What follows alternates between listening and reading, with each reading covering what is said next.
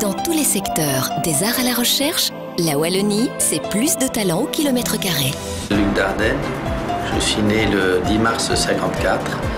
Je suis cinéaste, je travaille avec mon frère depuis 74.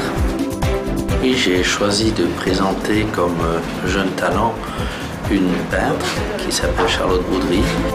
Je fais de la peinture figurative, euh, je travaille à partir de documents photographiques, je fais poser mon entourage. Le moment, je, je prépare une exposition. Je travaille sur une série d'architecture précaire. J'étais vraiment ému, touché par, euh, par ces tableaux. C'est une peintre qui, qui, ne cherche pas les esbroufs, qui ne cherche pas les faits, mais une vérité qu'elle essaie de, de capter.